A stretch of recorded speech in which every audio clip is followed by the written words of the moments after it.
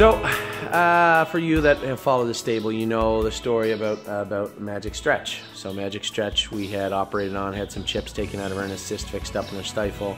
She's a project. Um, most of these horses, I'm optimistic, will be ready to go the first part of July. I'm fairly confident Magic Stretch will not. Uh, the owners both know that it's going to take some time, and she needs to build muscle, a lot of muscle where she had none, um, without hurting her or breaking her down. So her knees are still open. Uh, you can see we wear a knee brace on her on her knee that was operated on, and uh, we keep bandages on her. I mean, it's just it's going to be uh, it's going to be a lot of work to get her back. I mean, it's not any different than any other horse. It's just a different scenario.